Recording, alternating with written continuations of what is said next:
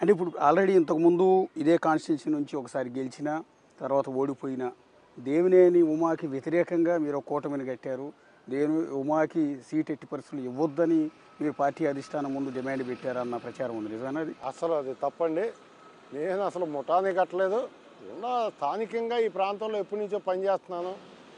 నా అభ్యర్థిని పరిశీలించమని చెప్పి నేను సర్వీస్ చేయడానికి నాకు ఒక అవకాశం కల్పిండి అని చెప్పి నేను అడిగా కానీ అతనికి నేను టికెట్ ఇవ్వద్దని చెప్పడం కానీ నేను పార్టీ అధినేతతో అసలు అతని గురించి నేను ఇంతవరకు ప్రస్తావించినటువంటిది లోకేష్ బాబుతోనూ ప్రస్తావించలేదు.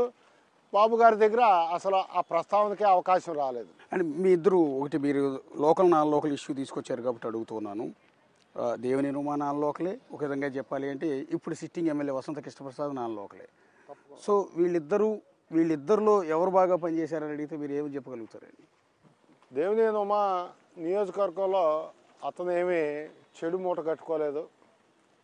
కృష్ణప్రసాద్ గారు మాత్రం వాళ్ళ బంధువుల ద్వారా ఏదో ఆ ప్లయాష్ దగ్గర ఆ కొండపల్లి ఫారెస్ట్ క్వారీ దగ్గర ఇట్లాంటి దగ్గర అతను అతని పరిధిలో ఆ మాట తెచ్చుకోవాల్సినటువంటి అవకాశం ఎందుకు తెచ్చుకున్నాడో అట్లాంటిది విమర్శకు గురి అవ్వాల్సిన పరిస్థితి లేదు.